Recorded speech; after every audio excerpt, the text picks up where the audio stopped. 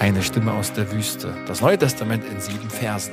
Hey, schön, dass du wieder dabei bist. Ich freue mich, ich freue mich richtig auf dieses Thema, weil ich rede so, so gerne über den Heiligen Geist. Dazu müsst ihr wissen, ich bin aus äh, einer Pfingstgemeinde herkommend geprägt, war da lange Zeit Pastor, aber zur gleichen Zeit äh, liebe ich auch den Evangelikalismus. Wenn man mich in Schubladen packen will, dann bin ich vom Kopf her Evangelikaler und vom Herzen Pfingstler. Nein, das ist kein Ausschluss. Ich liebe beides und ich bin überzeugt, wenn Bibel und Geist wieder mehr zusammenkommen, wenn wir aus dem Wort gegründet heraus mit der Kraft des Geistes rechnen, darin leben, mit den Geistesgaben umhergehen, uns das schenken lassen, da ist dann wirklich die Kraft und die Macht verborgen, die wir so sehr brauchen, dass unser Christsein auch wieder kraftvoll und anziehend und ansteckend sein darf. Heiliger Geist, darüber will ich mit euch reden. Doch bevor eine äh, wieder einsteigen, eine herausfordernde Gedanke mal vorweg, nämlich wenn der Heilige Geist von jetzt auf gleich einfach verschwinden würde, gehen würde, was er zum Glück ja nicht tut, also rein hypothetisch, würde es in deiner Gemeinde auffallen? Würde es in deinem Leben auffallen, dass der Geist Gottes nicht da ist? spannend zu überlegen, was deine erste Reaktion darauf ist. Ich habe die Befürchtung, dass es manchmal viel zu spät oder vielleicht sogar gar nicht auffällt. Vieles, was wir in der Gemeinde tun, würde einfach weiterlaufen. Und wir würden es vielleicht gar nicht merken, auch in unserem christlichen Leben. Aber der Geist Gottes ist ja gerade derjenige, der uns bevollmächtigen will für unseren Dienst in Kraft des Geistes zu dienen, Wunder und Zeichen, wie Jesus es getan hat, auch vollbringen zu können. Er will uns die Geistesgaben schenken, er will uns helfen, Jesus ähnlicher zu werden. Das ist unser Tröster, unser Beistand und vieles, vieles mehr. Und ich hoffe, es fällt auf. Es fällt auf, wenn er nicht mehr da wäre. Und es fällt vor allem auf, dass er da ist. Und er macht den Unterschied in unserem Leben. Christus in euch, die Hoffnung der Herrlichkeit, der Geist Gottes in mir. So wollen wir uns anschauen, Wer ist der Heilige Geist? Was waren seine Aufgaben? Was hat, hat er getan? Zuerst im Alten Testament. Dann wollen wir uns mit Jesus und dem Heiligen Geist beschäftigen. Wie hängen diese beiden zusammen? Und hat Jesus auch das, was dann am Pfingsten passiert ist, vorbereitet? Was waren dann die Erfahrungen der ersten Christen, der frühen Gemeinde? Das wollen wir uns auch noch anschauen, bevor es dann natürlich auch so ein bisschen wieder konkreter wird ähm, was ist der Heilige Geist, was ist die Aufgabe in der Gemeinde heute immer noch. Und äh, dann werde ich auch noch schließen mit Epheser 5,18, wo Paulus so sagt, lasst euch immer mehr, immer wieder vom Geist Gottes erfüllen. Dann habe ich noch ein tolles Gebet von John Stott mitgebracht, das ich euch noch auf den Weg geben will. Genau. Dann wünsche ich euch viel Segen mit der Aufzeichnung von diesem Vortrag und äh, ihr hört nochmal gleich von mir am Ende. Ja, Schön, dass ihr hier vor Ort seid oder live eingeschaltet habt. Herzlich willkommen zum sechsten Bibelabend in unserer Neuen Testament-Reihe. Ähm, heute mit dem spannenden Thema des Heiligen Geistes. Wenn wir kurz blicken, was schon hinter uns liegt, ähm, können wir, glaube ich, ganz schön stolz auf uns schon sein, was wir alles so mal ein bisschen tiefer studiert haben. Und der krönende Abschluss ist dann natürlich nächste Woche ähm, Vollendung, einen kleinen Ausblick in die Zukunft und in die Offenbarung. Ich lese unseren Vers für heute Abend zu Beginn wieder vor und würde noch mit uns beten. Und passend zu diesem Abend, zum Thema Heiligen Geist, ähm, geht es heute um Römer 8, Vers 9. Da schreibt Paulus in einem ganz tollen Kapitel der Bibel, ihr jedoch steht nicht mehr unter der Herrschaft eurer eigenen Natur, sondern unter der Herrschaft des Geistes, da ja, wie ich voraussetze, Gottes Geist in euch wohnt. Denn wenn jemand diesen Geist, den Geist Christi, nicht hat, gehört er nicht zu Christus. Ja, Jesus, ich danke dir und preise deinen Namen, dass wir nicht mehr unter der Herrschaft unserer eigenen Natur stehen, sondern dass du, Geist Gottes, in uns lebst und wir in dir wandeln dürfen. Und ich bete für diesen Abend, Herr, dass du uns erfüllst neu mit deinem Geist, mit Frische, mit Freude, mit einer Lebendigkeit in unserem Glaubensleben, dass wir ja alles, was wir heute hören, verarbeiten und auch zehren, ja, und dass du uns hilfst, das zu integrieren in unserem eigenes Leben, Herr. Rede, wir rechnen damit. Bitten dich um die nötige Konzentration noch an diesem Abend, dass du uns nochmal hilfst, ganz bei der Sache zu sein und dass du einfach durch dein Wort und durch deinen Geist in unser Herzen hineinsprichst. Dafür beten wir deinem Namen, Jesus. Amen. Amen. Stellt euch einmal kurz vor, ihr wärt ein Christ im ersten Jahrhundert nach Christus.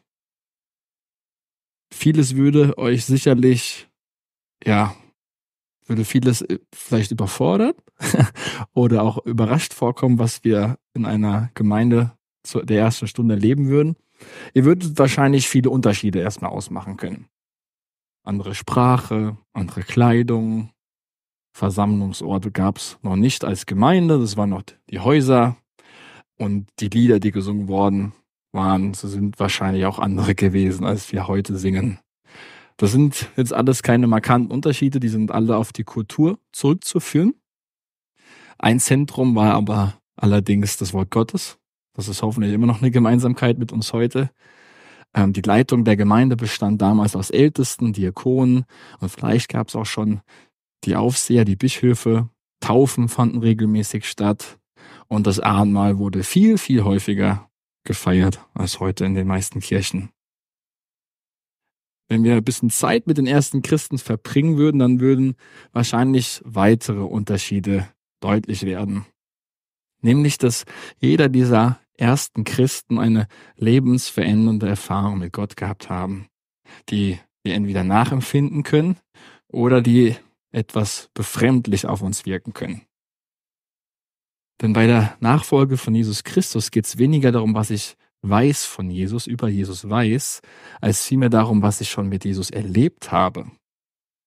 Und das ist vor allem, so stelle ich mir das vor, und das wird auch aus dem Neuen Testament sehr deutlich, war das das Gesprächsthema Nummer eins in der Urgemeinde. Was hast du denn erlebt mit dem Geist Gottes, mit Jesus? Und das ist das ganze Thema, was wir heute Zeugnisse nennen. Die Gnadengaben oder generell, dass der Geist gegenwärtig war und ist und gewirkt hat, das hat die Leb Gemeinde lebendig gemacht, vital. Ähm, ich glaube, da ist niemand eingeschlafen, obwohl mir fällt gerade ein, da ist jemand eingeschlafen bei einer Predigt von Paulus, gell? Und sogar verunglückt und Paulus hat das Beste getan, dass er wieder lebendig geworden ist. Und ähm, unser heutiger Vers, zumindest der zweite Teil, der drückt, denke ich, ganz gut das Selbstverständnis von den ersten Christen nämlich aus, wo sie sich selbst verstehen, den Geist Jesu, den Heiligen Geist zu haben. Und wenn jemand ihn nicht hat, dann kann er auch nicht zu Jesus gehören. Das ist so ein bisschen das Selbstverständnis der ersten Christen. Die ersten Christen wussten, dass Jesus ihnen was versprochen hatte nämlich, dass er selbst zum Vater gehen würde und dann seinen eigenen Geist senden wird. Jemanden, den die Welt nicht hat, nicht kennt, nicht empfangen kann. Das ist in Johannes 14 nachzulesen. Und dann wurde natürlich ihr Glauben auch wesentlich von dem Pfingstereignis geprägt und geformt, von der Ausgießung des Heiligen Geistes, dass sie ausgerüstet, befähigt worden sind mit göttlicher Kraft zum Dienst, und wir würden heute bestimmt die erste Gemeinde als eine charismatische Gemeinde beschreiben. Das ist eine Pentakostale, um vielleicht nochmal genauer zu sein, weil wir sind ja in einer Pfingstgemeinde hier. Was bedeuten diese schönen Worte? Das meint eigentlich nur, dass das geistgewirkte, geistgefüllte Gemeinschaft war, wo der Geist geleitet und geführt hat. Und was das bedeutet, das wollen wir heute ein bisschen gemeinsam erkunden. Was haben wir bisher in den letzten Abenden betrachtet? Eine kleine Zusammenfassung nochmal, um die hier anzukommen, zu landen heute Abend. Wir haben festgehalten, dass im Neuen Testament beginnt eine neue Epoche der Menschheitsgeschichte. Vieles, was an Versprechen, an Verheißungen im Alten Testament ja, gegeben worden sind, finden hier seine, finden hier ihre Erfüllung. Jesus ist gekommen, der Messias, der Christus, das Reich Gottes hat angefangen, mit all seinen himmlischen Werten sich auszubreiten in dieser Welt. Wir haben letzte Woche über diese neue Bundesgemeinschaft gesprochen, aus Juden und Heiden gleichermaßen. Und jetzt sind wir beim Heiligen Geist. Das Evangelium ist viel mehr als das Thema Sündenvergebung. Und das Evangelium, haben wir auch schon gesagt, ist viel mehr als nur unser Ticket in den Himmel zu kommen. Im Herzen dieses, dieser ganzen Geschichte, die Gott mit uns Menschen schreibt, ist die Vision, den Himmel auf die Erde zu bekommen. Und nicht uns in den Himmel. Das heißt, das große Ziel, die große Vision, alles nachzulesen in diesem wunderschönen Kapitel Römer 8, ähm, ist diese Welt zu erneuern, wiederherzustellen. Es geht darum, die Dinge, die falsch laufen, wieder ins Lot zu bringen. Und dafür hat Gott sich einen Haufen von kleinen Sündern ausgesucht, wodurch er mit uns dieses Ziel verwirklicht sehen will. Wir betonen immer wieder, und das so fassen wir meistens ja auch das Evangelium, die gute Nachricht von Jesus Christus zusammen. Es geht um unsere persönliche Erlösung, um unsere Heiligung, also Jesus ähnlicher zu werden. Und wenn wir danach ganz gut sind, geht es noch um die Evangelisation oder Mission, dass das auch andere erfahren. Und diese Themen sind wichtig, das will ich gar nicht bestreiten. Aber damit ist noch nicht das ganze Evangelium auch erfasst. Es gibt so einen schönen Spruch, ich mag den gerne, weil ich kennt ihr den. Das Evangelium ist nicht nur das ABC des christlichen Glaubens, sondern das A bis Z. Also es ist nicht so, dass du irgendwann mal das Evangelium ja glaubst und dann dich weiterentwickelst, darüber hinaus eine neue Lehre kommt oder so. Nee, das Evangelium ist Anfang und das Ende. Und das ist, was wir brauchen. Und Teil von diesem Evangelium ist es nämlich auch, dass Gott nicht nur uns Menschen retten möchte, sondern die ganze Schöpfung. Römer 8 wieder. Und nun, da können wir Gott sehr dankbar sein, ist es nicht so, dass er uns mit dieser Mission alleine lässt. Es ist immer noch Gottes Mission. Wir reden in der Theologie davon, dass Gott der größte Missionar ist. Er ist der Ursprung. Aus seinem Herzen fließt diese Bewegung zu uns Menschen, dass Gott sich zu uns Menschen bewegt, verändert seine Initiative in Gott selbst. Und wir dürfen darin involviert sein, aber er lenkt und führt. Und genau hier stoßen wir jetzt auf die Rolle des Heiligen Geistes, der in uns lebt und vor allem auch das Gemeindeleben gestaltet. Und mittlerweile müsstet ihr ja wissen, wie wir vorgehen, wenn wir ein neues Thema ja, beackern. Wir fangen erst immer im Alten Testament an. Und das machen wir jetzt auch. Das Alte Testament und der Heilige Geist. Denn das Alte Testament oder aus dem Alten Testament heraus lernen wir zwei Voraussetzungen, die das Neue Testament wieder einfach voraussetzt, dass wir das wissen. Und dieses Fundament bildet dann ähm, die Basis, um den Heiligen Geist besser zu verstehen. Also zwei Ideen aus der Zeit Jesu wurden ganz bewusst von den ersten Christen abgelehnt, die gängig waren auch im Frühjudentum zur Zeit der Griechen und auch der Römer. Und der erste, diese erste Idee, die abgelehnt worden ist, lautet, die ersten Christen lehnten die Vorstellung ab, dass Gott so weit weg von seiner Schöpfung sei, dass er persönlich nicht eingreifen würde. Und begründet wurde diese Idee da heraus, dass Gott ist ja vollkommen. Wir Menschen, die Erde ist es nicht. Und Vollkommenheit und Unvollkommenheit verträgt sich nicht gut. Gott sei deswegen ganz fern, ganz weit oben und wir Menschen ganz weit weg und unten. Das ist übrigens ansatzweise auch die Vorstellung im Islam. Gott ist ganz weit weg, steht über allem, ist erhaben. Also ganz transzendent. Diese Seite wird sehr stark betont. Und diese Idee, die kann man auch Dualismus nennen, die war gang und gäbe bei den Römern und bei den Griechen. Dass Gott abgeschnitten ist von seiner Schöpfung und ähm, ja, mit ihr nicht so wirklich viel zu tun hat. Eine zweite Vorstellung, die abgelehnt worden ist, war, dass Gott vollkommen in seiner Schöpfung gegenwärtig ist oder wohnt. Dass man eben nicht Schöpfer und Schöpfung trennen könne. Gott sei mit allem verbunden gleichzeitig.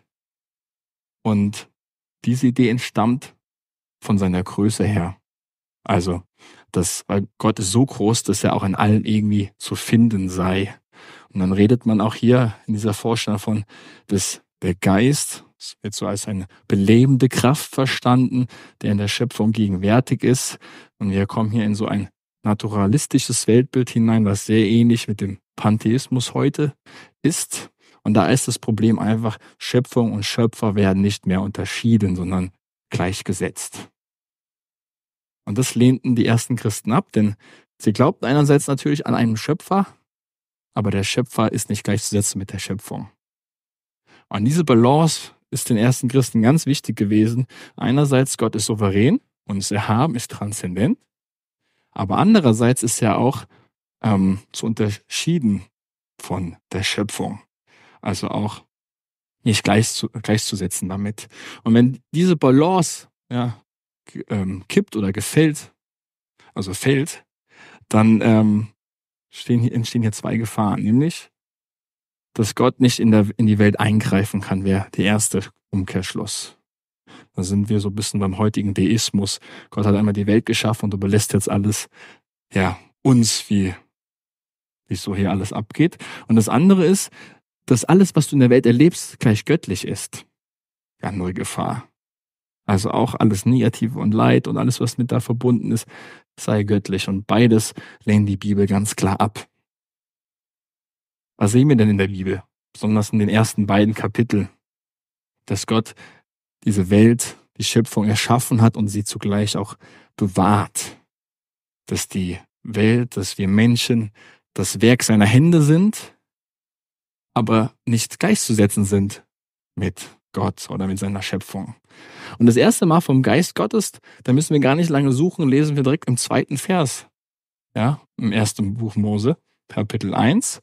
Und da ist dieser Vers oder wird das Bild gemalt, dass der Geist Gottes über dem Wasser schwebt, sich fortbewegt. Und dieses Wort, das hier verwendet wird, ist Ruach, habt ihr vielleicht auch schon mal gehört im Hebräischen, das sowohl Geist als auch Wind bedeuten kann.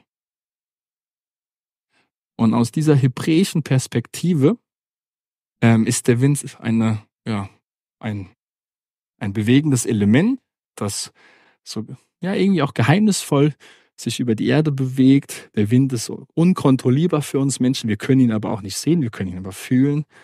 Und der Wind schwankt zwischen Sturm und völliger Ruhe. Und das kann man so ein bisschen auch als ein Bild deuten für die universale Gegenwart Gottes in der Welt, die aber nicht wiederum gleichzusetzen ist mit der Welt. Ein Beispiel, Psalm 18, Vers 15 wird das Teilen des Schiffsmeeres, aber auch beim Auszug aus Ägypten, bei Mose in Verbindung gebracht mit Gottes Atem, Hauch. Der hat es getrennt. Gottes Gegenwart ist in der Welt also allgegenwärtig. Und doch zur gleichen Zeit ist seine Gegenwart auf bestimmte Orte fokussiert und erfüllt mit bestimmten Zwecken seiner Gegenwart. Was das bedeutet, erkunden wir jetzt noch. Also Gott, der Himmel und Erde geschaffen hat, der handelt einerseits sehr zielgerichtet ähm, und bewusst, strategisch, könnte man vielleicht auch sagen, sehr kraftvoll Einerseits, um sich selbst groß zu machen, bekannt zu machen in der Welt, aber auch immer wieder einen Weg zu schaffen für sein Volk. Und diese göttliche Kraft, die, wenn man irgendwie nicht fassen kann, diese Gegenwart Gottes, die nennen wir Heiliger Geist. Und der Heilige Geist, der ist diese Kraft von oben, er entstammt nicht aus der Welt, ist kein Geschöpf, sondern ist Gott selbst, kommt vom Himmel. Und wenn wir dann weiterziehen von der Schöpfungsgeschichte, weiter ins Alte Testament blicken, dann merken wir, dass Gottes Geist nicht allgegenwärtig ist, sondern immer wieder ganz selektiv, bewusst, ausgewählt, gegenwärtig in dem Volk Gottes. Ein kleines Beispiel, wo der Geist Gottes auch mitwirkt, ist bei, der, bei dem Bau der Stiftshütte. Ich weiß nicht, ob ihr die Stelle kennt, Exodus 31. Da ist der Bezalel, wird beauftragt, diese Stiftshütte zu bauen und wird ausgewählt ganz bewusst, mit göttlichen Gaben ausgestattet. Und das werde ich euch kurz mal vorlesen, wie diese, was da über den Geist Gottes auch steht. Und der Herr redete mit Mose und sprach, siehe, ich habe mit Namen berufen Bezalel, den Sohn Uris, den Sohn Hurs vom Stamm Juda, und habe ihn erfüllt mit dem Geist Gottes, mit Weisheit und Verstand und Erkenntnis, mit allerlei Fertigkeiten, kunstreich zu arbeiten, in Gold, Silber, Bronze, kunstreiche Steine zu schneiden und einzusetzen, kunstreich zu schnitzen in Holz und um jede Arbeit zu vollbringen. Bezalel ist jetzt hier nicht nur einfach ein besonderer Handwerker, der einfach super Fähigkeiten hat, sondern wir lesen hier ganz deutlich, dass Gottes Geist ihn dazu ausgerüstet hat, befähigt hat, diese Hütte zu bauen. Und da spreche ich gerne von dieser einer zielgerichteten Salbung durch den Geist Gottes finden wir immer wieder im Alten Testament. Die bekanntesten sind natürlich neben den Richtern auch die Könige zur Zeit ähm, Israels. Sehen wir zum Beispiel in 1 Samuel 16, 12 folgende, wo König David gesalbt wird. Wie geht es vor sich? Samuel, der eigentlich ja alle Söhne schon scheinbar von Isai begutachtet hat, ähm, findet dann mit bisschen Beihilfe vom Herrn noch David und salbt ihn dann mit Öl. Und Öl haben wir ja auch schon bedacht, das steht symbolisch auf den Geist Gottes. Und dann kommt der Geist Gottes auch mit seiner Kraft über David. Und das lesen wir auch nochmal ganz kurz. Da sandte er hin und ließ ihn holen. Und er war bräunlich und mit schönen Augen und von guter Gestalt. Und der Herr sprach, auf, salbe ihn, denn der ist's. Da nahm Samuel sein Ölhorn und salbte ihn mitten unter seinen Brüdern. Und der Geist des Herrn geriet über David von dem Tag an und weiterhin. Samuel aber machte sich auf und ging nach Rama. Und das ist eine Stelle, die ja exemplarisch dafür stehen kann, dass immer wieder Schlüsselfiguren im Alten Testament von Gott erwählt werden und dann wiederum durch den Geist Gottes für ganz bestimmte Aufgaben befähigt werden. Die Priester wurden zum Beispiel auch gesalbt oder auch die Propheten. Und es fällt hier auf, Priester, Propheten, Könige, Richter, das sind alles ganz wichtige Instanzen, Größen in Israel, wodurch Gott auf bestimmte Weise auch sein Volk leiten will, wenn er diese Leute auswählt und befähigt. Das Besondere jetzt im Alten Testament ist aber, dass diese Salbung, die Ausstattung mit dem Geist Gottes einzelnen Personen nur galt und dann immer nur für einen gewissen Dienst, also eine Salbung auf Zeit. Und wenn dieser Dienst abgeschlossen war, dann ist auch die Salbung gewichen oder der Geist. Jesaja blickt zum Beispiel im 63. Kapitel einmal auf den Exodus zurück, auf Mose, der ja auch viele Wundertaten getan hat, und macht hier deutlich, dass das Mose nur durch den Geist Gottes in dieser Zeit tun konnte. Also wir sehen auch jeder hier hat einen Anfang und einen Endpunkt. Und dann spielt noch der Geist Gottes eine wesentliche Rolle, immer wenn es dann um die Zukunft Israels geht. Wenn die Propheten von einem neuen Zeitalter reden, dann geht es auch meistens irgendwie immer um den Geist Gottes. Und um das kurz zu verstehen, müssen wir uns nochmal klar, müssen wir nochmal klar kriegen, was denn so das Weltbild nochmal von den Israeliten damals war. Es war ja so, dass erst das Nordreich und dann später das Südreich, also Israel und Juda, in verschiedenen Abständen dann ähm, erobert worden sind, zerstört worden sind und dann in Exil gekommen sind. Und das hat beiden gleichermaßen, ganz Israel, natürlich ganz schön zugesetzt, im Exil zu leben, dass das Exil jetzt auf der Tagesordnung stand. Und das hat natürlich auch ihr Denken geprägt, das Chaos, das hinterlassen worden ist und alles in ihnen war auf Erneuerung gepolt und ausgerichtet in dieser Zeit.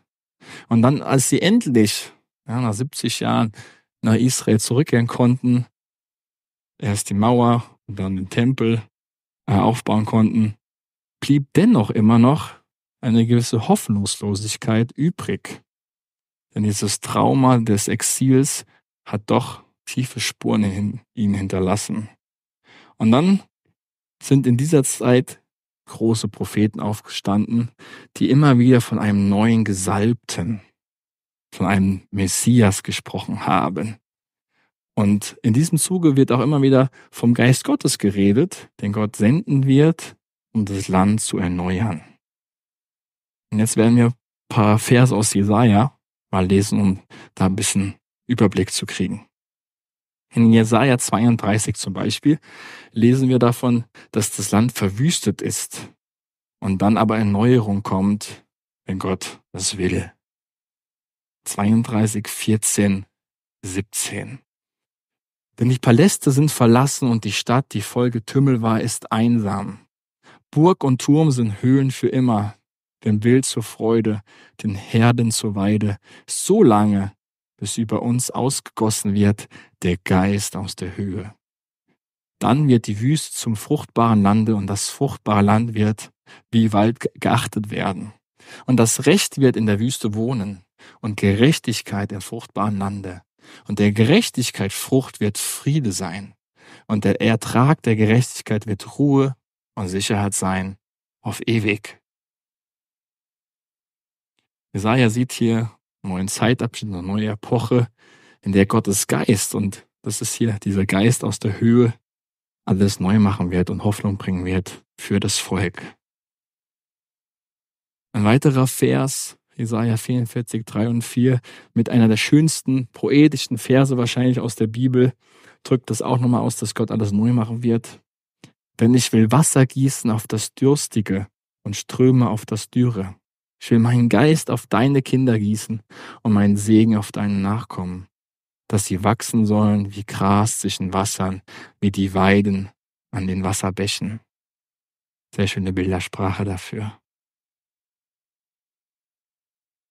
Nicht nur beginnt der Prozess der Erneuerung durch den Geist, sondern wir lesen auch im Jesaja, dass der Geist Gottes auch der Katalysator dafür ist, die ausführende Kraft, die Befähigung, für diesen Gesalbten, für diese Gesalbten. Das ist in Jesaja 42,1 zum Beispiel zu erkennen und Jesaja 61,1. Die lese ich jetzt mal gerade hintereinander. Siehe, das ist mein Knecht, den ich halte und mein Auserwählter, an dem meine Seele wohlgefallen hat. Ich habe ihm meinen Geist gegeben. Er wird das Recht unter die Heiden bringen. Jesaja 61, kennt ihr? Der Geist Gottes des Herrn ist auf mir, weil der Herr mich gesalbt hat. Er hat mich gesandt, den Elenden gute Botschaft zu bringen, die zerbrochenen Herzen zu verbinden, zu verkündigen den Gefangenen Freiheit, den Gebundenen, dass sie frei und ledig sein sollen. Und in diesen Versen sehen wir, dass die Hoffnung, die Erwartung auf einen Gesalbten, auf einen Messias immer verbunden wird, Hand in Hand geht im Alten Testament mit dem Geist Gottes. Aber hier ist noch mehr zu finden.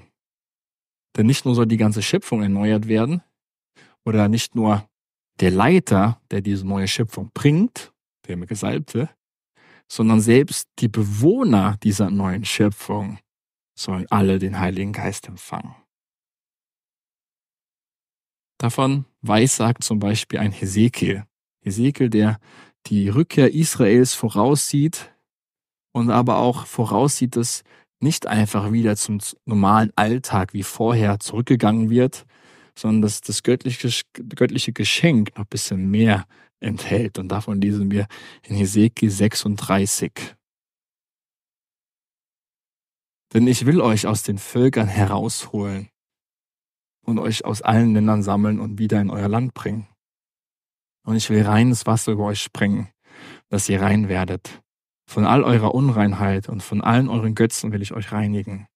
Und ich will euch ein neues Herz und einen neuen Geist in euch geben und will das steinerne Herz aus eurem Fleisch wegnehmen und euch ein fleischernes Herz geben. Ich will meinen Geist in euch geben und will euch Leuten aus euch machen, die in meinen Geboten wandeln und meine Rechte halten und danach tun.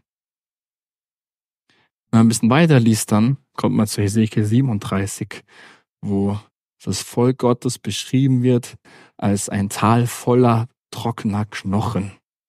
Ein Friedhof wird hier beschrieben, ein Ort des Todes, ein Ort der Niederlage. Und hier verspricht dann Gott, dass dieses Volk wieder auferstehen wird, dass neue Möglichkeiten entstehen, wenn in diese alten Knochen, in diese alten Knochen neue Körper geformt werden, wo der Geist Gottes hineinkommt, wo der Geist Gottes füllt diese Körper. Und eine ähnliche Vision haben auch Jeremia in Jeremia 31 oder Sacharja Sacharja 12 und auch ein Joel in Joel 2. Zu dem Text kommen wir noch ein bisschen später, den Petrus ja an Pfingsten dann auch benutzt. Und alle machen diesen gleichen Punkt. Eine neue Hoffnung wird in Israel geboren, wenn Gott endlich anfängt, ein neues Kapitel zu schreiben. Ein neues Kapitel, wo Frieden herrschen wird, wo Gerechtigkeit Alltag ist, und wo Gottes gesalbter Bote diese neue Welt einläutert. Eine neue Welt, in der man dann Gott kennt, wie man ihn bisher vorher noch nicht erkennen konnte. Und das alles machen diese Stellen deutlich, ist ganz allein Gottes Werk. Er wird es in Israel anfangen und das wird alles durch den Messias und seinen Geist geschehen. Zur Zeit Jesus hat diese Erwartung sich noch ein bisschen verändert, ja, was in der Zukunft passieren wird. Wir sehen jetzt weniger eine Leidenschaft zur Zeit Jesu für so eine geistgewirkte Erneuerung. Denn man hat nach Maleachi, dem letzten Propheten im Alten Testament, es so verstanden, dass damit dann auch die Aktivität des Geistes Gottes aufgehört hat. Die Tora ist fertig, ja, das Alte Testament ist abgeschlossen. Es, der Geist hat schon lange keinen Propheten mehr geschickt. Gott hat geschwiegen. Damit hat man dann das auch gleichgesetzt, ähm, dass diese geistgewirkte Erneuerung, ähm, ja, hat man, hat man sich aber keine Hoffnung mehr drauf gemacht. Und deswegen hat man dann den Schwerpunkt verlagert, nämlich auf das Studium der Tora und dann vor allem auch auf den Gehorsam dessen Einhaltung. Und das sei jetzt der Weg, gerecht zu leben. Das heißt, es wurde mehr über die Tora als über den Geist Gottes gesprochen und sich ausgetauscht. Obwohl wir ja diese Prophetien hier, die wir eben betrachtet haben, sehr deutlich in der Tora finden. Das heißt, man ging davon aus, man begegnet Gott in seinem Wort, aber Erfahrungen übernatürliche mit dem Geist Gottes, die waren besonders in dieser Zeit eher Seltenheit. Und das müssen wir jetzt im Hinterkopf behalten, wenn wir jetzt zum Verständnis des Geistes Gottes im Neuen Testament kommen, worauf ihr wahrscheinlich jetzt schon lange gewartet habt. Jesus und der Heilige Geist. Das Neue Testament beginnt ja mit der Behauptung, dass diese Wartezeit jetzt endlich ein Ende hat. Oder wie Paulus es sagt, das Ende der Zeit ist gekommen. Diese messianische Zeit hat jetzt angefangen und das bedeutet auch, dass die Zeit des Geistes angefangen hat. Und jeder der vier Evangelisten macht dieses Neue sehr deutlich. Und da sehen wir direkt schon in den Geschichten, die wir lesen, um die Geburt Jesu herum. Wir sehen, wie Gott durch den Geist Gottes, durch die Engel, alles perfekt vorbereitet, dass Jesus in die Welt kommen kann. In Lukas 1 und 2, wenn wir die Kapitel mal lesen, kommt der Geist Gottes dann ein zehnmal vor. Nur in den ersten zwei Kapiteln. Also Gott bereitet diese Ankunft von Jesus mächtig übernatürlich vor und kündigt es an. Und dann lesen wir noch von dieser Figur des Johannes des Täufers. Der identifiziert Jesus ja auch als Messias. Er tauft ihn dann sogar. Und ein Johannes hat sich ja oder wurde auch von anderen so aufgefasst, dass er auch ein Prophet sei. Er hat sich so gekleidet wie ein Elia und hat in dem, was er gesagt hat, wie er gehandelt hat, ganz viele Erinnerungen äh, in den Köpfen des Volkes hervorgerufen, die alle mit ganz großen, wichtigen Ereignissen im Alten Testament verbunden waren. Und dann natürlich war der Höhepunkt bei Johannes der Täufer, als er dann Jesus taufen konnte. Und Gott bestätigt hier an Jesu Taufe, seine göttliche Identität, seine Berufung. Und was sehen wir hier auch? Der Geist Gottes kommt auf ihn. Es wird hier deutlich, Jesus ist der Gesalbte, Bote Gottes. Und wir sehen, lesen, hören von Gott sogar, er ist mehr, ist sogar der Sohn Gottes. Im Johannesevangelium lesen wir davon, dass oder wird herausgestellt, dass der Geist Gottes nicht nur auf Jesus herabkommt, sondern vor allem, und das ist jetzt das Neue, im Gegensatz zum Alten Testament, auf Jesus auch bleibt. Es handelt sich jetzt bei Jesus nicht auf, um eine Salbung auf Zeit, wie es üblich war, sondern um eine dauerhafte Salbung, die sein ganzes Leben von nun an, seinen ganzen Dienst prägen sollte. Und sein Dienst, den kann man als Dienst der Taufe verstehen. Und damit meine ich jetzt nicht die Wassertaufe, sondern die Geistestaufe. Von Jesus beschreibt, Johannes beschreibt Jesus auch als den Geisttäufer in Johannes 1, 33. Und in Johannes 3, 34 wird Jesu Dienst wie folgt beschrieben. Denn der, den Gott gesandt hat, verkündet Gottes eigene Worte. Gott gibt ihm den Geist in unbegrenzter Fülle. Der Vater liebt den Sohn und hat alles in seine Hand gelegt. Wenn ihr jetzt eine Bibel dabei habt, kann es euch helfen, mal in die Fußnote zu schauen. Denn, ich gucke mal, ob ich mit dem Laserpointer hier hinkriege, das ähm, zweite Wort Gott hier, das steht nicht im Urtext, da steht nämlich er. Und das ist jetzt die große Frage, wer ist mit er gemeint? Ist das Gott oder ist damit Jesus gemeint?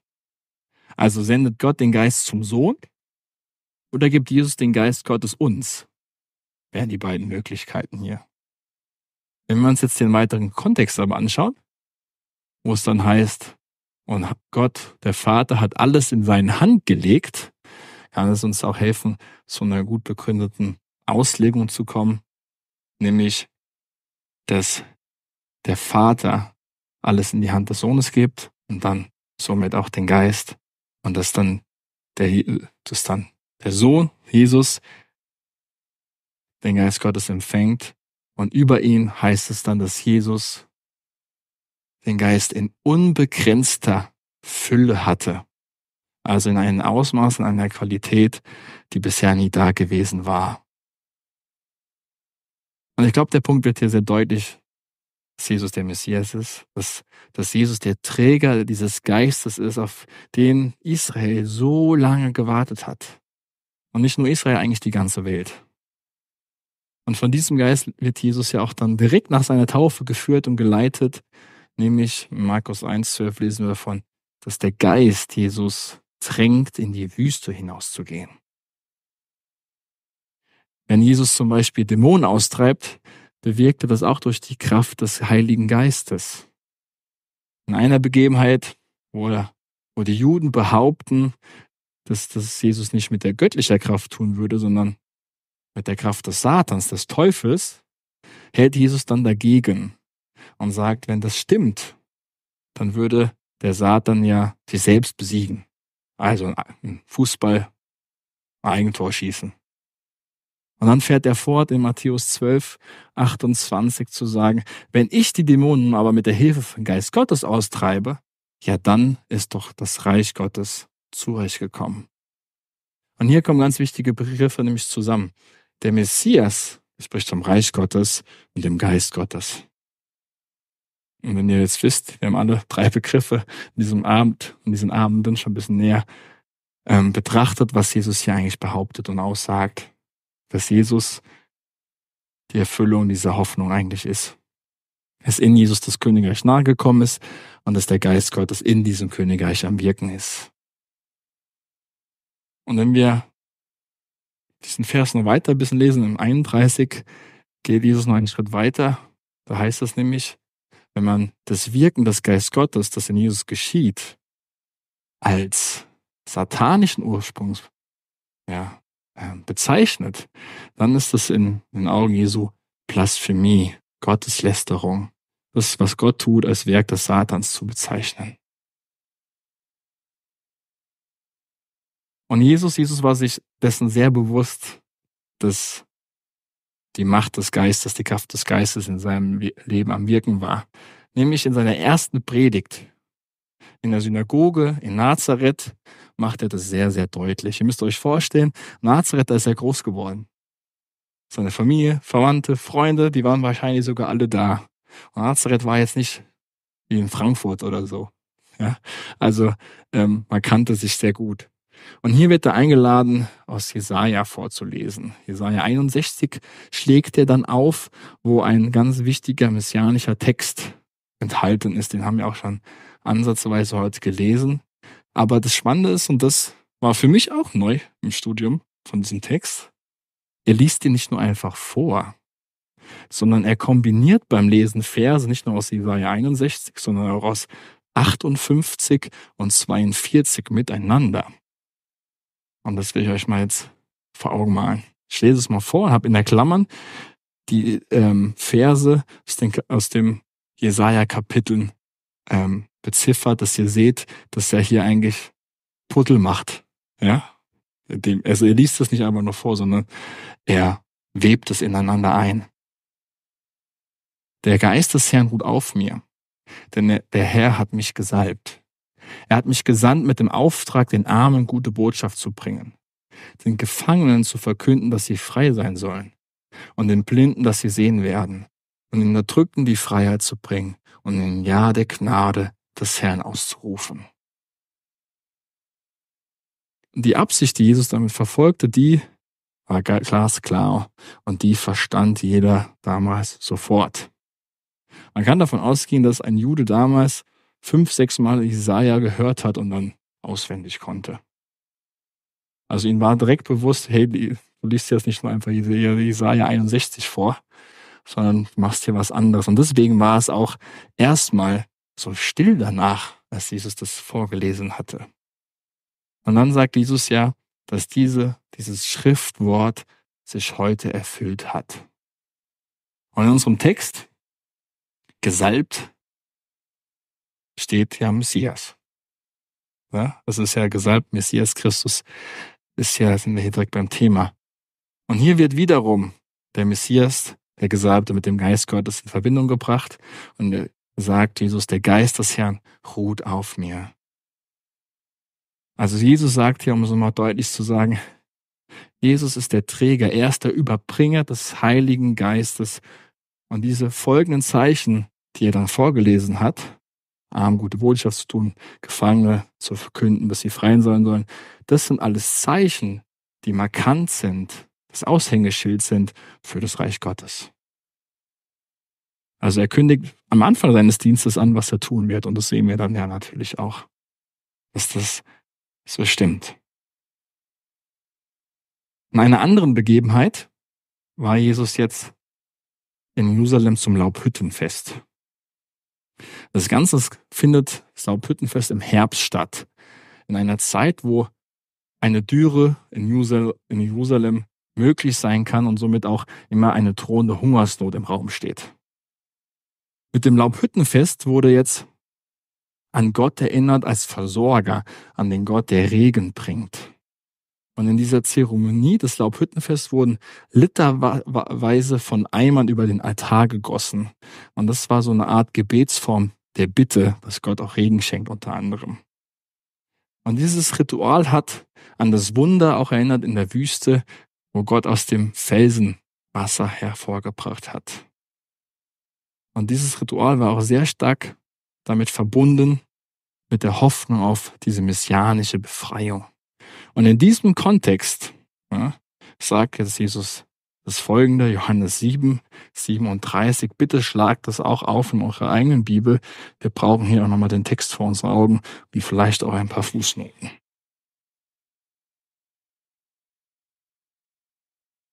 Am letzten Tag, dem größten Tag des Festes, trat Jesus vor die Menge und rief, Wer Durst hat, soll zu mir kommen und trinken.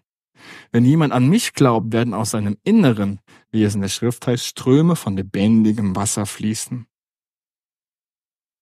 Und jetzt kommentiert das sozusagen Johannes als Evangelist. Er sagte das im Hinblick auf den Heiligen Geist, den die empfangen sollten, die an Jesus glaubten. Der Geist war zu jenem Zeitpunkt noch nicht gekommen, weil Jesus noch nicht in seiner Herrlichkeit offenbar geworden war. Viele, viele Theologen streiten sich darüber, wie das zu verstehen ist. Vor allem, weil es zwei verschiedene Übersetzungsmöglichkeiten auch gibt. Aber erst nochmal ein bisschen Kontext dazu. Ähm, die Lehrtexte, die zum Laubhüttenfest vorgelesen worden sind, Saraja 14, Hesekiel 47, die hatten alle zum Thema, dass Ströme des lebendigen Wassers aus Jerusalem, aus dem Tempel herausfließen wird und vom Tempel ausgehend dann Leben in die ganze Welt bringen würde. Also das war dieses Setting, was ihr jetzt im Kopf haben müsst, wenn Jesus das sagt. Und so wie es die Rabbiner, die Juden damals dann verstanden haben, ist der Tempel dieses Innere, was Jesus jetzt hier zitiert. Und für Inneren steht eigentlich ein Wort, das man wortwörtlich übersetzen könnte mit Bauch. Also Bauch beim Menschen steht für Inneren. Also, dass der Tempel das Zentrum sei, von dem dieser Strom ausgeht in die ganze Welt hinein. Und das lebendige Wasser, wie Johannes ja uns hier kommentiert ist, oder steht für den Geist Gottes hier dann auch. Jetzt zu den verschiedenen Auslegungsmöglichkeiten. Heute ist die gängige Meinung, dass nicht aus uns Gläubigen heraus das lebendige Wasser fließt, sondern aus Jesus. Wenn man Vers 8 in diesem Sinne dann übersetzen würde, würde das dann da heißen, denn aus Jesu Inneren werden, wie es in der Schrift heißt, Ströme von lebendigem Wasser fließen. Also wenn wir uns Vers 8 hier nochmal anschauen, ähm, werden aus seinem Inneren. Die Frage ist, wer ist seinem? Ja? Sind das die Gläubigen oder ist es Jesus?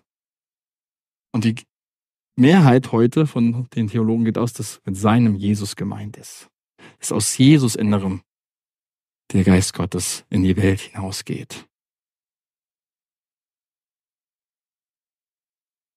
Das heißt, Jesus ist das lebendige Wasser, welches Israel so lange gesucht hat und von dem die Propheten an vielen Stellen immer wieder in diesen Bildern der, des Wassers, der Quelle, des Brunnens gesprochen haben. Es wird deutlich, dass Jesus dieser Bringer des Geistes ist für die ganze Welt. Um weitere Bilder zu gebrauchen, Jesus ist der neue Tempel, von dem das lebendige Wasser, der Geist Gottes ausgeht. Jesus ist die Quelle dieses lebendigen Wassers. Und Johannes benutzt dieses Bild des Wassers auch an der wichtigsten oder an den wichtigsten Stellen in seinem Evangelium, nämlich am Kreuz. Da heißt es, oder lesen wir von, dass aus Jesu inneren Wasser fließt. Und das Wort, ähm, wie gesagt hier, kann auch als Bauch wortwörtlich verstanden werden. Und was geschieht mit Jesus am Kreuz? Einer der Soldaten, was macht er? Mit einem Speer stießt Jesus jetzt nicht in den Bauch, aber in die Seite. Das ist ein anderes Wort, das muss, muss man schon fairerweise sagen. Aber was tritt dann aus seinem Inneren aus? Blut und Wasser. Johannes 19, 34 ist das. Und das kann man auch als ein symbolisches Bild deuten. Vor allem, weil Johannes sehr viele Symbole eigentlich verwendet in seinem Evangelium. Nämlich dass Jesus, der Träger und Bringer des Geistes, stirbt. Und als er dann brutal getötet wird, wird der Geist Gottes symbolisch in die Welt entlassen. Wenn es euch noch nicht überzeugt, ich habe noch mehr Hinweise für diese Auslegung.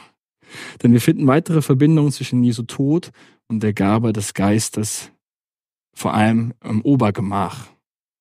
In seiner Abschiedsrede in Johannes nachzulesen, verwendet Jesus die Verknüpfung zwischen seinem Tod, dass er nicht mehr da sein wird, mit dem Geist Gottes gleich fünfmal. Und in diesem Zuge macht er deutlich, dass das Kommen des Geistes abhängig davon ist, dass er stirbt, dass er geht. Johannes 16, 7 zum Beispiel. Es ist gut für euch, dass ich weggehe. Denn wenn ich nicht von euch wegginge, käme der Helfer nicht zu euch. Wenn ich aber gehe, werde ich ihn euch senden. Ein paar weitere Hinweise für das Kommen des Geistes finden wir auch wiederum am Kreuz. Ich habe schon gesagt, aus Jesu, Wasser, aus Jesu Seite tritt Wasser und Blut aus, als er dann getötet, also als er gestorben ist. Aber kurz vorher sagt er ironischerweise noch, ich habe Durst. Und als Jesus starb, beschreibt es Johannes in Johannes 19,30 so. Nachdem er ein wenig von dem Essig genommen hatte, also sein Durst gestillt wurde, sagte er, es ist vollbracht. Dann neigte er den Kopf und gab den Geist auf, heißt es hier wörtlich. Und das ist nicht eine konventionelle Art, damals zu sagen, dass jemand stirbt oder verstorben ist. Die anderen drei Evangelisten machen es ein bisschen anders, aber Johannes benutzt hier ganz bewusst dieses Bild, diese Bildersprache. Und er will damit sagen, als Jesus gestorben ist, passiert etwas. Ein Geschenk wird angefangen ausgepackt zu werden, denn der Geist Gottes wird in die Welt hinaus gesandt. Was sagt denn Jesus, als er auferstanden ist, vor Pfingsten schon den Jüngern? Er haucht sie an und sagt, empfangt den Heiligen Geist. Johannes 20, 22. Und wenn ich jetzt diese ganzen Hinweise zusammennehme, wird ein Punkt wichtig. Wir haben gesehen, dass das Neue Testament deutlich das Kommen des Messias und den versprochenen Geist Gottes, der in die Welt kommt, zusammenbringt. Der Geist Gottes war es, der Jesus für seinen Dienst befähigt hat und ihn ausgestattet hat. Und derselbe Geist würde jetzt nach Jesu Tod auch ausgegossen werden auf seine Nachfolger. In Lukas 24, 49 sagt Jesus zu ihnen, ich aber werde die Kraft aus der Höhe auf euch herabsenden, wie mein Vater es versprochen hat. Bleibt hier in der Stadt, bis ihr damit ausgerüstet werdet. Jesu Tod, seine Himmelfahrt, wird wiederum mit dem Geist Gottes hier verbunden. Und wenn wir jetzt also als Christen zu Jesus gehören, dann gehört dazu auch eine Erfahrung mit dem Heiligen Geist, zu unserer Nachfolgung dazu. Und das wollen wir jetzt nochmal ein bisschen näher kurz betrachten. Die Erfahrung der ersten Christen mit dem Heiligen Geist. Hm, was weiter noch? Jetzt. Was geschah 50 Tage nach Ostern? Da trat ein weiterer wichtiger Wendepunkt ein, nämlich nachdem Jesus in den Himmel gefahren ist, hat er ähm, nochmals die Jünger in ihrer Identität bestärkt und ihre Mission erklärt und gesagt, bleibt in Jerusalem, bis ihr die Kraft von oben empfangen habt. Und als jetzt dann das jüdische Pfingstfest gefeiert wurde, waren dann auch alle Apostel zusammen, 120 der Jünger im Obergemach und dann kam ein starker Wind auf, Feuerzungen vom Himmel kamen auf sie und sie wurden alle mit dem Geist Gottes gefüllt. Und Wind und Feuer muss man hier vielleicht mal kurz erklären, denn das ist nicht, haben, die haben nicht dieselbe Bedeutung. Wind haben wir schon kurz im Laufe des Abends schon herausgefunden. Wind ist einfach ein Bild auch für den Heiligen Geist, weil es im Wort miteinander schon sehr verbunden ist. Für was steht das Feuer? Das Feuer steht im Alten Testament eigentlich immer für die Gegenwart Gottes. Wenn ihr euch an die Begegnung Gottes mit Menschen erinnert, zum Beispiel auf dem Berg Sinai, Donner, Feuer war immer dabei.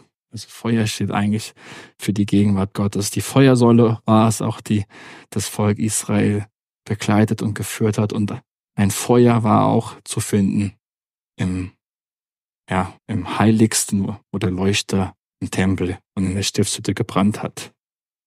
Das heißt, die Kraft Gottes ließ sich jetzt hier auf die Jünger nieder und das, was man eigentlich vom Tempel erwartet, die Gegenwart Gottes, das wurde jetzt übertragen auf die Gemeinde. In der Gemeinde, in den Nachfolgern Jesu, ist Gott gegenwärtig. Und dann hält Petrus eine der besten Predigten wahrscheinlich aller Zeiten an Pfingsten, Apostelgeschichte 2. Ähm, und er bringt das, was sie erfahren haben, an Pfingsten mit einer Prophezeiung aus Joel 2 in Verbindung und sagt, das, was heute passiert, ist die Erfüllung dessen, wovon schon Joel gesprochen hat. Dass nämlich der Geist ausgegossen wird. Und das Bindeglied zwischen dieser Erfahrung ist Jesus. Joel spricht von dem Geist Gottes, sie haben den Geist Gottes erlebt und dazwischen im Zentrum ist Jesus zu verorten als Bindeglied, als Verbindung zwischen der Erfüllung und der Verheißung. Und wenn wir dann aufmerksam die Apostelgeschichte lesen, haben wir gerade intensiv in den Predigten letzten, in den letzten Wochen in der Gemeinde gemacht, sieht man, dass zur Bekehrung zu Jesus auch immer wieder eine Erfahrung mit dem Geist Gottes gehört. Das haben die Jünger nicht nur an Pfingsten einmal erlebt, sondern immer und immer wieder. Wir sehen, immer wenn das Evangelium in einen neuen Kulturkreis vordringt, Judäa, Samaria, die Heiden, bis ans Ende der Welt, bestätigt Gott immer und immer wieder neue Bekehrungen mit der Erfüllung des Heiligen Geistes. Auch ein Paulus hat es selbst erlebt, die Kraft Gottes am eigenen Leib. Und auch ein Paulus war bisschen später auf einer seiner Missionsreisen unterwegs, kam nach Ephesus, lernte Jünger kennen und sie haben ihm erzählt, dass sie noch nicht den Heiligen Geist empfangen hatten. Und das war für Paulus nicht natürlich. Sie glaubten an Jesus, sie wurden getauft, dennoch fehlte ihnen irgendwie dieses wichtige Element in ihrer Nachfolge. Und deswegen hat die Paulus nicht lange gewartet, hat für sie gebetet, ihnen die Hände aufgelegt und dann haben sie den Geist Gottes empfangen und in Zungen gebetet. Glaube an Jesus, Taufe auf den Namen Jesus und der Empfang des Heiligen Geistes, die bilden zusammen ganz wichtige Elemente in unserer Nachfolge, den Jesusweg nämlich zu leben.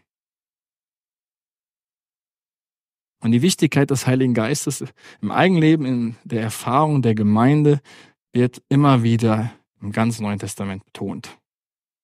Und so auch in unserem Vers, den wir für heute ausgewählt haben, Römer 8, 9, wo ganz klar gesagt wird, denn wenn jemand diesen Geist, den Geist Christi nicht hat, gehört er nicht zu Christus. Ein Johannes schreibt auch seine Briefe an junge Gemeinden, die wissen wollen, hey, wie merke ich denn jetzt, wann gehöre ich denn jetzt wirklich zu Jesus und zu seiner Gemeinde? Und hier weist der Apostel als Merkmal der Zugehörigkeit zu Jesus auch wiederum auf den Heiligen Geist. Johannes, 1. Johannes 4, 13. Woher wissen wir, dass wir in Gott leben und dass Gott in uns lebt? Wir erkennen es daran, dass er uns Anteil an seinem Geist gegeben hat. Die Identität von uns Christen gründet sich jetzt nicht nur, das habe ich schon mal gesagt, auf das, was wir über Jesus wissen, schon erkannt haben. Und wir sehen hier, dass unsere Identität sich auch in einer dynamischen Beziehung zum Geist Gottes gründet. Auf einer ganz individuellen Art und Weise, auf einer sehr persönlichen Ebene. Der eine erlebt das vielleicht so, der andere eher so. Denn der Geist ist wie der Wind. Der weht, wo er will, heißt es in Johannes 3.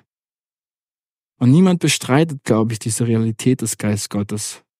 Doch niemand kann wirklich einschätzen, wo er hinwehen will, was er vorhat. Und wenn der Geist Gottes kommt, dann sorgt er meistens für große Überraschungen im Neuen Testament. Und auch hoffentlich heute noch. So kommen wir zum Heiligen Geist und der Gemeinde. Und hier will ich drei wichtige Funktionen des Heiligen Geistes nochmal hervorheben. Es gibt wesentliche mehr. Ich muss mir natürlich auch im Anblick der Zeit beschränken. ähm, will nochmal sagen, dass der Geist Gottes nicht nur eine Quelle der Inspiration ist, sondern vielmehr ist der Geist Gottes unser Helfer, Jesus nachzufolgen. Und der Geist Gottes ist verantwortlich, dass in unserem Leben Frucht, dass unser Leben Frucht bringt und auch Frucht in der Gemeinde. Und jetzt zu den drei Punkten. Der Geist erstens erhält das Leben Jesus in unserem Leben aufrecht. Der Geist sorgt dafür, dass Jesus sein Leben in unserem Leben fortsetzt.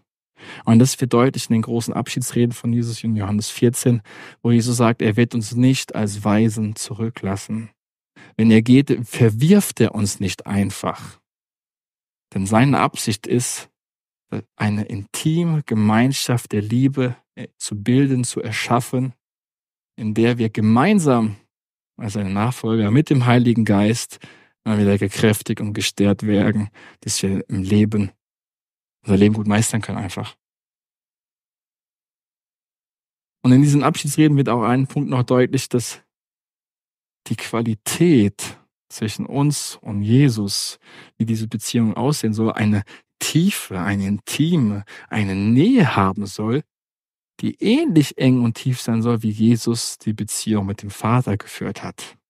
Wie der Vater den Sohn liebt, so liebt der Sohn seine Nachfolger. Wir sollen in ihm sein, wie Jesus im Vater ist. Und damit ist das Wohnen des Heiligen Geistes gemeint. Jesus sagt ja in Johannes 14, 23, wenn jemand mich liebt, wird er sich nach meinen Worten richten. Mein Vater wird ihn lieben und wir werden zu ihm kommen und bei ihm wohnen. Und von diesem Versprechen lesen wir an unzähligen Stellen.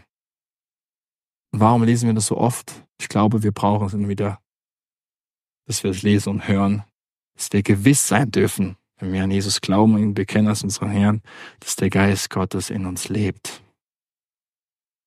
Und dieser Geist ist nicht irgendein Geist, sondern wie Paulus auch das in Römer 8, 9 sagt, er betont, dass es der Geist Christi ist. Es ist der Geist, der von Jesus ausgeht, der von ihm ausgegossen wird. Und diese, diese ähnliche Verbindung finden wir auch noch in Apostelgeschichte 16, wo die Apostel ein tolles Erlebnis haben, übernatürliche Führung erleben und der Geist Gottes auch eine entscheidende Rolle spielt. Da lesen wir, Paulus und seine Begleiter zogen nun durch die Teile Phrygens und der Provinz Galatien gehört. Eigentlich hatten sie vor, vorgehabt, die Botschaft Gottes in der Provinz Asien zu verkünden, aber der Heilige Geist hatte sie daran gehindert.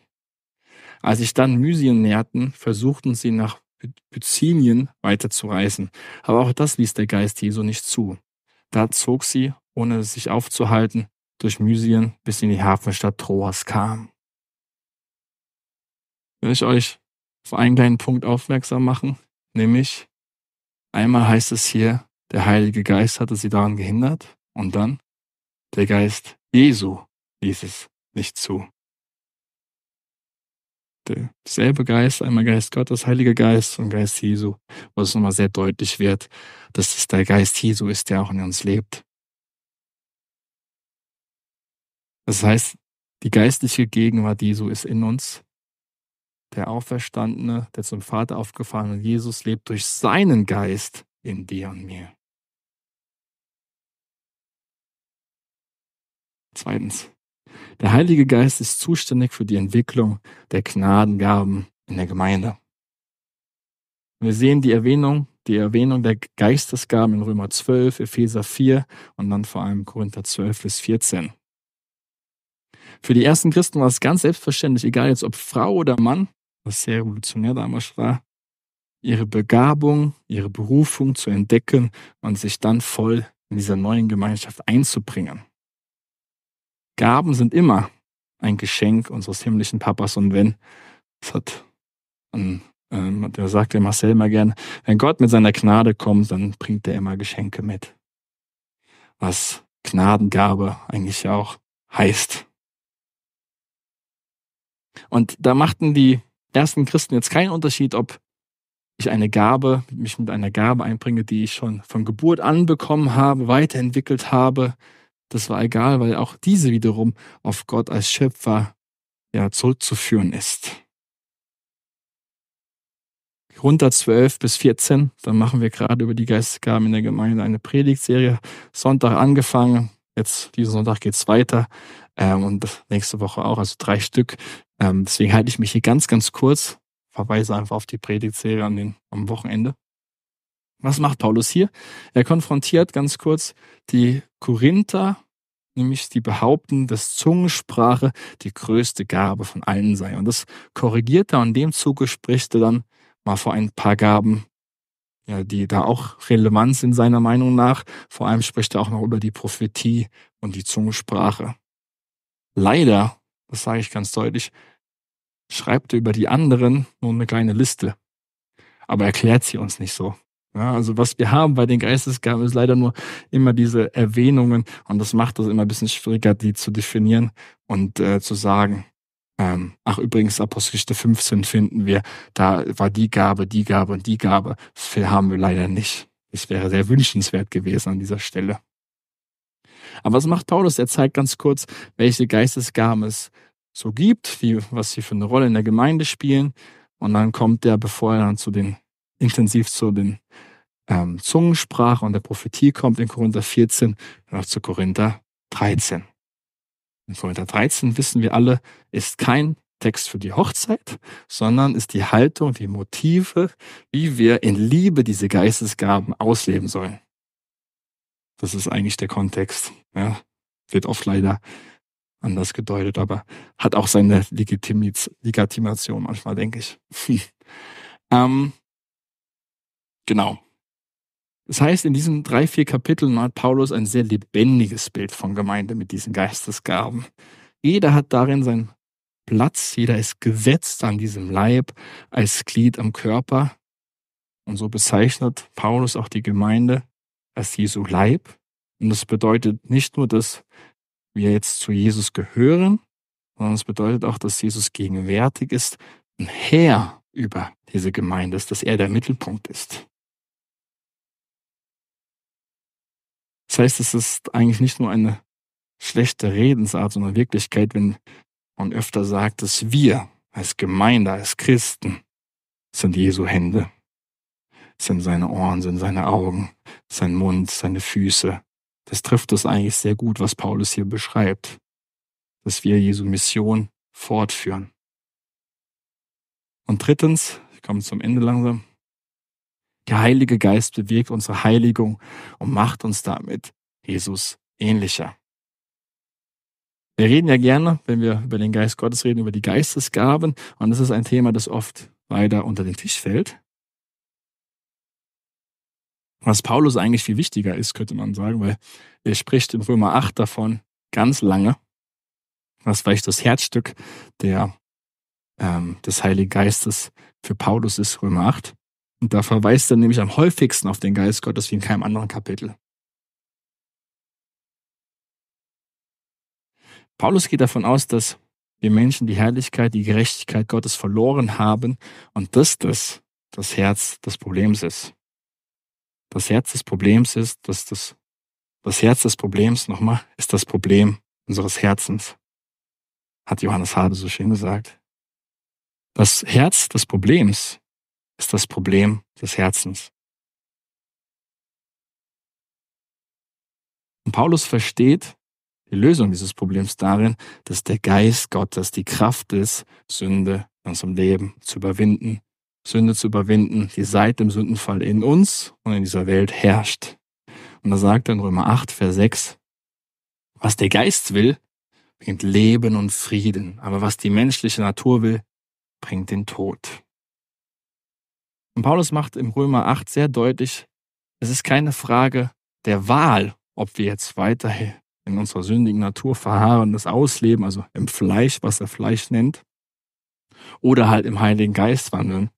Das eine sagt, er verträgt sich nicht mit dem anderen. Und Paulus möchte, dass wir im Heiligen Geist leben.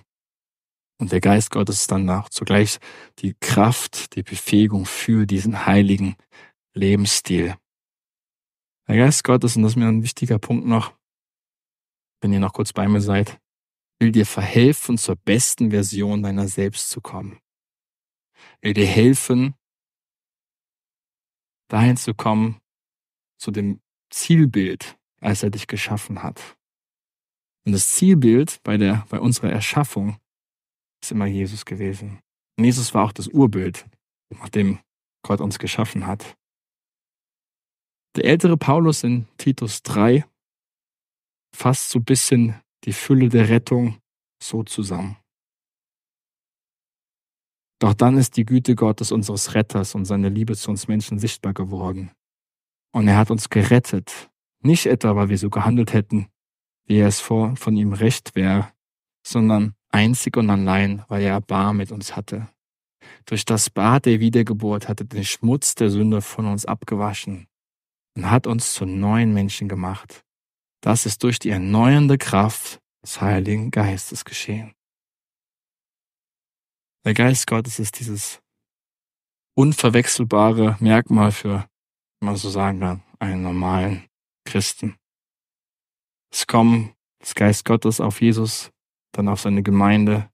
Das ist das Identitätsmerkmal im Neuen Testament, dass dieses neue Reich, diese neue Epoche begonnen hat. Der Heilige Geist ist so entscheidend für das Volk Gottes, dass er uns ausrüstet, befähigt, das zu werden, was die Propheten mich damals im Alten Testament vorausgesehen haben. Und das war immer, wie wir gehört haben heute Abend, dem Geist Gottes verbunden, da hinzukommen. Das können wir nicht aus unserer eigenen Kraft. So können wir sagen, dass die Rettung Gottes erst vollständig ist durch die Gabe des Heiligen Geistes. Die Gemeinde ist an Pfingsten entstanden, sagen wir ja auch. Der Geist Gottes macht uns ganz, macht uns heil, macht uns vollständig, macht uns komplett. Und ich habe gedacht, ich will eigentlich nicht nur gerecht vor Gott stehen, sondern ich will dann auch am Ende geheiligt vor ihm stehen können. Vollständig erneuert in das Ebenbild Gottes in mir wiederhergestellt, was die Sünde kaputt gemacht hat. Und soweit es geht, Jesus ähnlicher zu werden, das ist, glaube ich, das Ziel. Der beste Fabi zu sein, der ich sein kann. Der, der Fabi zu sein, den Gott sich bei meiner Schöpfung gedacht hat. Und die Gemeinde ist dieser Ort, wo jeder willkommen ist, dazu zu stoßen. Aber der Gemeinde ist auch der Ort, wo niemand so bleiben sollte, wo niemand bleiben muss, wie er gekommen ist. Das Traurigste ist eigentlich, wenn jemand in eine Gemeinde kommt und mit jemandem spricht, der schon 30 Jahre da ist und die anderen sagen, ja, ist schon immer so. Da ist was schiefgelaufen, glaube ich wenn der schon immer so ist und der kommt schon 30 Jahre in die Gemeinde. Oder bleib so, wie du bist, ja. ja sagt man ja gerne am Geburtstag, ja, bleib so, wie du bist, so ist gut. nee, das wäre heute, glaube ich, dann haben wir jetzt hoffentlich ein anderes Verständnis dafür. Es ist immer Veränderung nötig, notwendig. Und dazu brauchen wir den Geist Gottes, um Jesus ähnlicher zu werden. Das heißt, das Wirken des Geistes Gottes ist notwendig in unserem Leben, dass er uns neu macht, aber auch, dass er die ganze Welt neu macht. Und Hoffnung, die sich in die Welt hinausbringt. Und die Veränderung, die in uns geschieht, wird zur Hoffnung für die Menschen, die Veränderung brauchen. Als Licht, als Zeichen dafür, egal wie, wie tief man in der Dunkelheit im Schlamm war, dass es möglich ist, verändert zu werden, heil zu werden. Und dafür sagt Paulus ja, wurde auch erwählt, er ist der Schlimmste von allen, um zu zeigen, wie groß Gottes Gnade und Größe ist. Ich will nicht, dass wir so jünger sind wie Apostelgeschichte 19, den Geist Gottes noch nicht empfangen hatten in seiner Fülle. Ich will nicht eine verkrümmte Nachfolge leben, wo ich nicht in der Lage bin, am Reich Gottes teilzuhaben, es gut und würdig zu repräsentieren. Und dazu brauchen wir den Geist Gottes. Und darum weiß auch Paulus. Deswegen gibt es diesen Vers in Epheser 5, 18, wo er von der Erfüllung des Geistes Gottes redet. Lasst euch viel mehr vom Geist Gottes erfüllen. Und dieser Vers ist so wichtig, weil dieses, diese Zeitform, die hier steht, eine, eine Zeitform ist, die deutlich macht, dass es nicht ein einmaliges Erlebnis ist, sondern andauernd geschehen soll. Immer und immer wieder, dass es kein Ende hat, die Erfüllung. Und das sollte, darf, will unser tägliches Gebet, glaube ich, sein, immer wieder neu dem Geist Gottes erfüllt zu werden. Und ich glaube, wenn wir das noch nicht regelmäßig beten, dann hat das, glaube ich, damit zu tun, dass wir noch nicht um unsere eigene Schwachheit und Abhängigkeit in der Tiefe eigentlich wissen.